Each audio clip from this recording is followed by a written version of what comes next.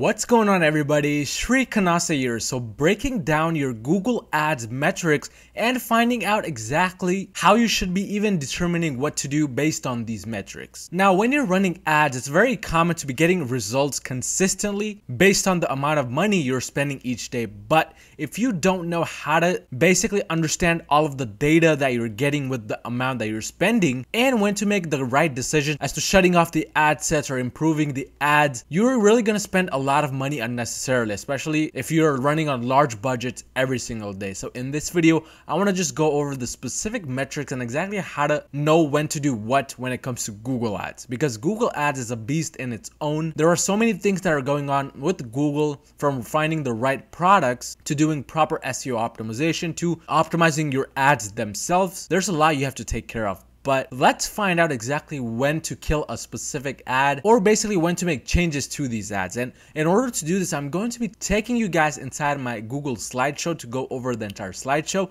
along with my real Google Ads account for one of my main general stores running at this moment. So it's important you stick till the end. But before starting make sure to just pause this video for about two seconds and smash that subscribe button down below. And don't forget to like so i know how to make more videos just like these. But let's get right into it. So inside your Google Ads account, the first thing you will have to do before we even go over the specific metrics and how to judge the metrics is to set up your Google Ads column similarly to mine. So pause this video for two seconds, maybe take a screenshot of this and just set it up the way I have it set up. So in the proper order, you want it from impressions and clicks, CTR, average CPC, all the way over here to the right where it's invalid click rate and invalid click. So you want all of your columns to be like this because these are some of the main columns that you should be looking at when it comes to specifically Google Ad. But as you guys can clearly see, I look at a lot of data, but but the main thing you want to understand is you don't have to look at all of these specific columns here to make the calculated decisions we'll be going over. But let's go and go on over to our slideshow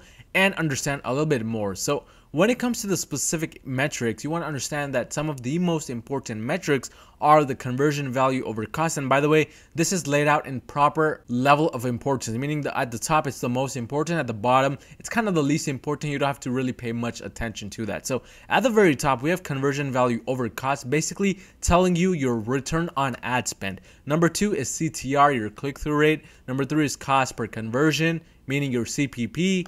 Number four, average CPC, then followed by impressions, clicks, search impression share, and click share. So in the order of importance, this is exactly what I look at to determine the performance of my ads that are currently running, what I should do with the ads and so forth. But there are several different ways to judge your ads, but the most important one you want to understand is that you want to be judging your ads based on past three days to seven days worth of data. Basically, when it comes to Google Ads, you want to understand that looking at the individual products is just as important as looking at your entire campaign as a whole. And the reality behind this is inside your Google shopping campaign, if you're following my strategies, which I've laid out on my channel, you're most likely running a general testing campaign, which tests all of your products from your store. In this case, we want to kind of look at it at an individual product view as well as a view as a whole at the campaign because when you're testing so many different products inside of one campaign within so many different niches, it's bound to have a lot of varying data. So you can't really make quick decisions based on the individual product level. You have to kind of look at the whole and see all of the things from impressions to the click share to search impression to make the decisions. And some of the other things which I look at as a whole are the audiences that I have running. Maybe if I have some audiences inside the campaign, the devices, which device is doing well. Is it mobile only or PC, desktop or tablets? That's followed by keywords. Maybe I have a few keywords which are spending the most money but aren't really that profitable. Maybe location, maybe I'm targeting different countries in the world and I'm just noticing that only US is giving me the most amount of sales. So all of these things significantly impact your ad. So it's really not beneficial to be looking at just the individual product level because there are just so many different things going on at a moment of time with your Google ads. But in addition, you want to understand that there is a certain level of account maturity, meaning if your account has been running for only less than two weeks, you most likely don't have sufficient data to even judge your ads at all. So in this case, what I would recommend is that you give Google time because Google again is a time-based platform. The more time you give Google, the better it's to perform over time. So the account maturity matters significantly when it comes to the results that you're getting with your ads. But generally, you want to understand that even after this account maturity level, which is kind of achieved after the two week to maybe four week period, you want to understand that the testing campaign that you will have on your Google Shopping Ads account will generally be unprofitable and that is completely fine. I'm going to go ahead and go on over to my Google campaign right now to show you guys exactly the results from the beginning until now to show you how the process works and then we're going to cover the main metrics and how to basically determine what to do when and how to determine results based on the metrics. So let's go ahead and go on over to the Google Ads account. So the main general testing campaign I have running is this one right here, which is this second one. And I began running this specific campaign back in uh, mid-November. So let's go ahead and look at November's data of 2019 to see exactly how everything was looking during that time period. So around 5th of November to 30th of November. So as you can see, this campaign was actually not running because I have made other several general testing campaigns before. So let's actually go ahead and go on to when this campaign was specifically started because this is actually my main one. So as you can see, around December 1st to December 30th, I actually began running this specific campaign. And during this time period, I spent around $114.60 to get back only four sales for a total cost per conversion value of $28 per sale with a ROAS of 1.88. So clearly not the best return on ad spend. But over time, let's go ahead and look at January. So January 1st to 31st, that's when I really found my main winning products and the stats significantly went up. So as you can see, I spent $952 for the month of January just on this campaign to get back 47 conversions at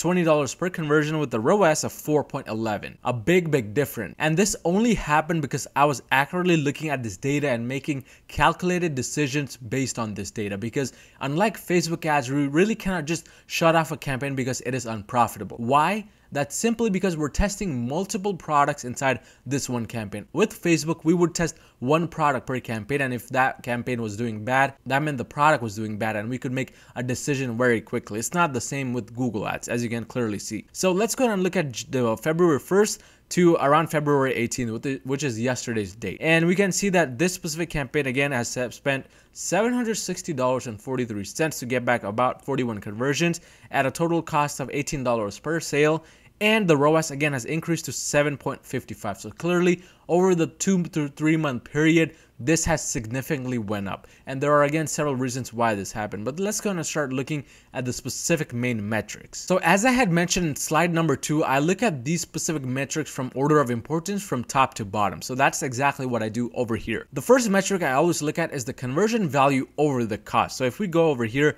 we can see that it is this specific value right here. And the reason why this is the main metric is because it is your ROAS, meaning your return on ad spend. How much are you spending and how much are you getting back? Right now, for the month of February, the ROAS, it says 7.55, meaning for every dollar I'm spending on this campaign, I'm getting roughly $7.55 back. So that's an amazing return on ad spend and something you should be aiming at. But as you guys saw, I did not achieve it overnight. There were a lot of things I had to do. The general criteria you want to understand is that if the ROAS is below 1.5, it is too low. Even a, usually a general ROAS of below 2 is too low, and that was the case for this specific campaign in December. As you guys saw, if we go ahead and go back to December, we can see that clearly the ROAS was 1.88, so it wasn't really profitable at all. The main thing I understood is that there were several things that were going wrong in this case for me. Number one, I either had a too low of a bid or number two, my products were really not that high quality. It was really easy to fix lower bid because all I did was just increase my bid by about 5 cents. And what I noticed is that the green area where my campaign was performing the best was around the 45 cent bid. Now, of course, this is going to be different for every single ad account. For me and my ad account, it was around 45 cents. But the harder part was actually adding the higher quality products because this is not something you'll know directly. Since the products that you do have on your campaign will still spend money, but you won't be sure whether these products are good or not until number one, they've fully spent their profit margin, or number two, they start getting you some sales. In this case, my products were getting me clicks and everything, and it was spending money, but unfortunately, it was not getting me sales. So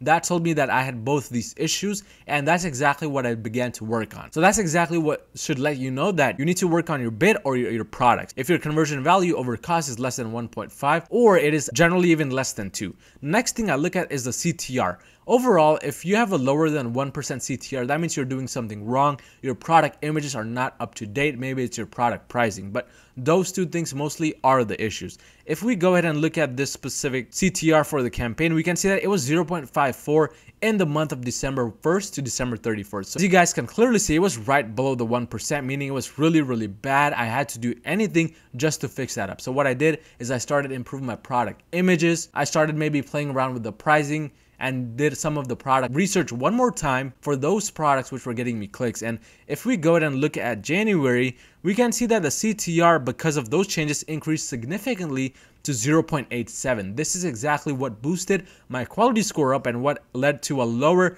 cost per conversion in the month of January compared to December. So clearly this led to a higher conversion value over the cost as well, meaning a higher return on ad spend. In February, I made even some more significant changes and as you guys can see, it jumped up above a 1%. This is what you want to be aiming for when it comes to the CTR to really give Google the clear sign that you are selling the right products to the right audience and what Google is going to do is it's going to reward you with a higher quality score. As you can see, as my CTR went up, my cost per conversion value went down significantly and my ROAS went up significantly as well. So those three things kind of correlated to each other. Because my CTR went up, my overall cost of running this campaign went down. That's exactly what you should want to do. And the first indicator that your CTR is really bad is if it's below 1%. If it is, you want to immediately stop adding new products and just focus on the products you've already added. It could mean removing the products with really low CTR or changing their images up. What I've noticed is changing the images really makes a big impact. An alternative you can do, and this is something I do after changing the image isn't really um, impacting it at all, is basically lower the price. But that's one great way to boost your CTR. And one specific metric I have my eyes on consistently. The third metric I look at consistently is my cost per conversion value. And this is important and number three on my list simply because it lets you know if you're right on your target for your cost per purchase. Unlike Facebook ads, you're gonna have a varying cost over conversion for Google because you're going to be testing multiple different products inside your general testing campaign. As you can see, if we go back to my specific campaign, my cost per conversion for this campaign was $19. You may think that this is too high, but you have to consider the fact that I have a lot of products ranging from $30 all the way up to $500 inside this general testing campaign getting sold. So that means this is a great cost per conversion to have, and this is going to vary a lot because of the wide range of products I have within my campaign. And and this is number three on my list because again, number one is this value right here. If this is positive, then you really don't need to be worrying about this. But still, nonetheless, if you still want to know what your average should be, what you want to do is you want to determine the average profits of all of the products inside your store. Maybe majority of the products at $20 profit margin, some at 30, then your average would be around $22, $23 or so. Then what you want to know is that if your cost per conversion for the campaign is higher than that 22 or $23, that means you want to maybe lower the bid because you're bidding too much to gain the customers and to gain the sale. Usually with the lower bid, you're gonna start getting the same sale for a lower price and a lower cost. So that's what you wanna be aiming for. The fourth thing you wanna be looking at is your average CPC. Again, a very important metric to be looking at because the lower it is, the better it is for you. Optimally, you want it to be less than 50 cents. But of course, if you're selling products over a thousand dollars, this is gonna be way, way higher than 50 cents. So it kind of depends on your store Majority of the dropshipping stores, however, should aim for 50 cents or lower.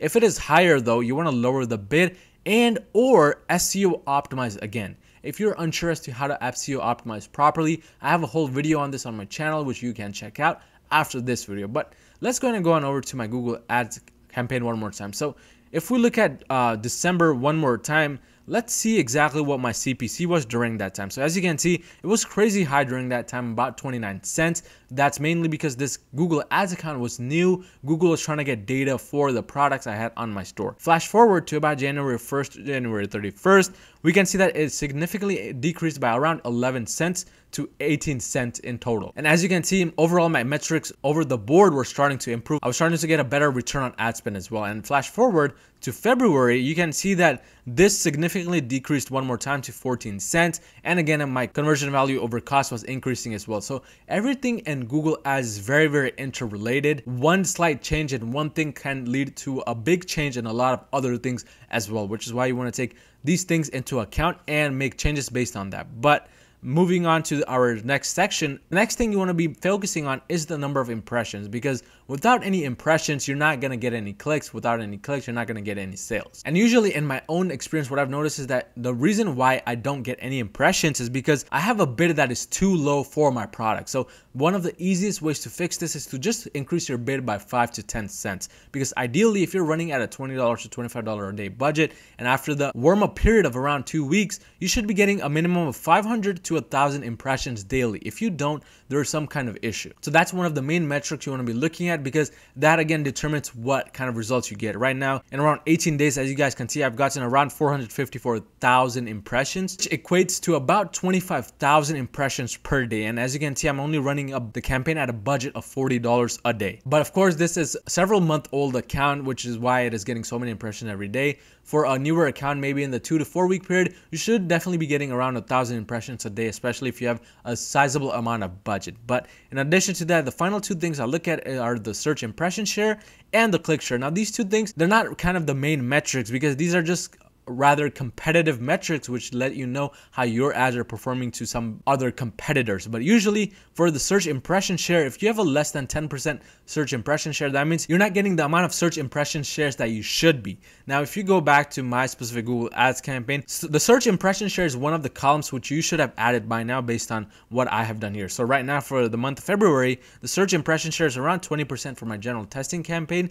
If we look at January when things weren't the best, we can see that the search impression share was about 17%. So it was much lower than what it is now. And again, going back to about uh, December, December was actually around 17% as well, but the results weren't up to par because of our other metrics. But search impression share again is gonna let you know how you're doing compared to your other competitors, how many search impressions you're actually getting versus how many you can actually win in total. So in total, I'm only getting 17% of the search impression shares than what I should be getting, which is not a bad thing when it comes to a general testing campaign. But this metric tells you a lot of things. The first thing is that if this is less than 10%, that is considered a bad search impression share, you're not getting enough search impression shares to be getting enough sales. So there are several things you can do in this case. Number one, you can increase the bid by again 5 cents to 10 cents. And number two, you can try increasing the budget. These two things directly impact your search impression shares, but of course, be sure that you can still remain profitable because again, the number one thing is this value right here. If your ROAS is bad, there's no point in improving your search impression share. So you want to make sure that your other metrics are still met along with this. But the second thing is click share. Again, how many clicks you're getting compared to what you can actually be getting in total. And again, less than 10% is considered bad. If we go back, we can see that around December 1st to December 31st, for my click share, which is not one of the columns, you would have to go inside bar graph at the top, go to competitive metrics, and choose the last option, which is click share. You can directly hover over and see what your click share is for a given day. So as you can see, my click share was ranging around 10% to 11% during December. And if we go ahead and go to January, we can see that it still was kind of fluctuating over time, but overall it was around 10% and then later on it kind of increased to 12% and so forth. But you want to kind of keep it around the 10% or more than 10%. Anything below 10% consistently means you may be bidding too low. So one of the easiest ways to battle that is just increase the bid. But that is exactly how you should be measuring your metrics and exactly how you know when to make what kind of change when it comes to Google Ads. If you found any type of value in this video, smash that like button and smash that subscribe button and I'll see you guys next time.